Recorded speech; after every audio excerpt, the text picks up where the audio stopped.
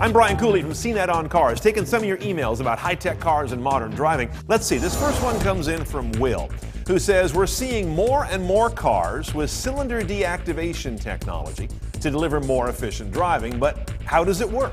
Do the cylinders actually stop moving? Is this some sort of physical connection from one bank or the other, or some kind of electronic shutdown?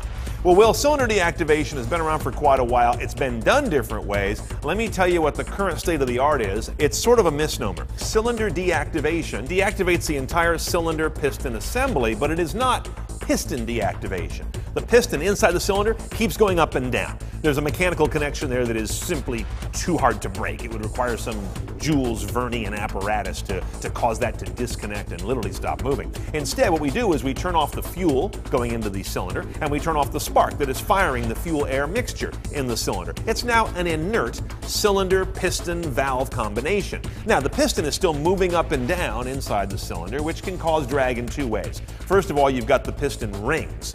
Those are causing friction on the cylinder walls. Can't get around that. But what you can do is you can park the valves open because modern cars have these elaborate addressable valve trains that can tell the valves stay open in a breathing mode. So at least that dead cylinder isn't putting all the work into compressing air all the time, which would cause a lot more drag on the engine.